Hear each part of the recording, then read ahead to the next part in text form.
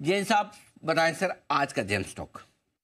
बिल्कुल very good morning Anil ji one second और आज इनफैक्ट एक स्टॉक लाया हूँ जो कि करेक्टेड ऑलरेडी करीब ढाई परसेंट लगभग आज के खराब मार्केट में in fact small cap mid cap में तो मिड कैप में नहीं स्मॉल कैप में करेक्शन हो रखा है, और वो है ल्यूमेक्स ऑटो टेक्नोलॉजीज़ और इस स्टॉक को काफ़ी बार रेकमेंड किया, और काफ़ी बार रेकमेंड करने की रीजन भी है।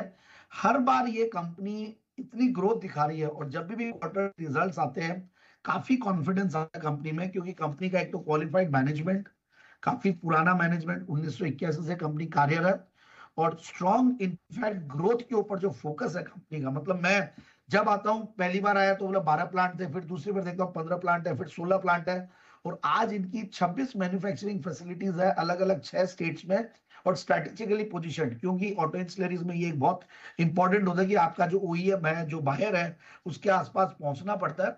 और वैसा ही कुछ इन्होंने भी किया है तो ये लोग प्लास्टिक मोल्डेड पार्ट्स बनाते हैं, फ्रेम चेसिस बनाते हैं, और कुछ ऐसा है कि ईवी e एग्नोस्टिक है, कुछ चीज़ें, इनकी यही जो बढ़िया चीज़ है। और एडवांस प्लास्टिक्स मेकाट्रॉनिक्स ये सब में अलग अलग लेवल्स पे ऑर्डर बुक भी है, और इन्होंने काफ़ी अच्छा कुछ कंसोलिडेशन भी किया अपने सब्सिडियरीज का, और कुछ इन्होंने स्केलिंग अप भी किया ऑपरेशंस में।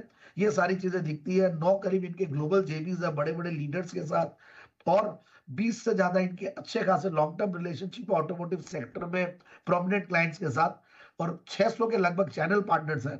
तो ये सारी और मार्जिन में इस बार अच्छी खासी बढ़ोतरी देखने को मिली। हालाँकि auto sector auto ancillary sector थोड़े सुस्त ज़रूर चल रहे हैं but at the same time हमें ये भी देखना होगा कि जिन्होंने कैपेक्स किया है, जिन्होंने ग्रोथ की है, जिनको आगे जाके जैसे मार्केट का माहौल ठीक होगा तो फ़ायदा मिलेगा। वैसा ये एक स्टॉक है अपने 200 डेमास के आसपास ये फ्लर्ट कर रहा है. इनफैक्ट यही 500 सवा 500 यही रेंज है. बट मुझे ऐसा लगता है करेक्शन में भी बहुत ज़्यादा डाउन साइड दिखती नहीं है.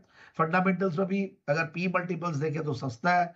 ईवी बाई इविटा में भी नौ टाइम्स है सस्ता लगता है. रिटर्न ऑन कैपिटल एम्प्लॉयड सत्रह, अठारह परसेंट है. पिछले तीन साल में यही जो इन्होंने एक्सपेंशन किया ग्रोथ लाई, नए प्लांट सेटअप किए तो छत्तीस सैंतीस परसेंट की सेल्स की ग्रोथ है. बयालीस परसेंट की पिछले तीन साल में प्रॉफिट की ग्रोथ है. और उससे भी बढ़िया जो मैं मार्जिन में देख रहा था, जो मतलब आठ, नौ परसेंट दस परसेंट के लगभग रहता था, इस बार इन्होंने करीब 12-13 परसेंट के लगभग पोस्ट किया है। And quarterly results were also very good पहली बार 50 मतलब 38 करोड़ का पैट था, उसके सामने बावन करोड़ का पैट सितंबर में। सो so ओवरऑल एक स्ट्रॉन्ग क्रेडिट वाली पेडिग्री वाली और स्ट्रॉन्ग ग्रोथ देने वाली और काफ़ी फोकस्ड इनफैक्ट ऑन ग्रोथ तो और एफ़ आई डी आई का भी अच्छा खासा इनमें शेयर होल्डिंग भी है। तो मुझे लगता है कि स्टॉक को बिल्कुल इस लेवल्स पे ले और 630 का टारगेट लगाए। 630 के लक्ष्य के लिए ल्यूमेक्स ऑटोटेक में करें खरीदारी। ये है राय जैन साहब की तरफ़ से आती हुई। आज एक ऑटो इंसुलिन स्टॉक है जैन साहब के जेंस में। इस बीच बाज़ार थोड़े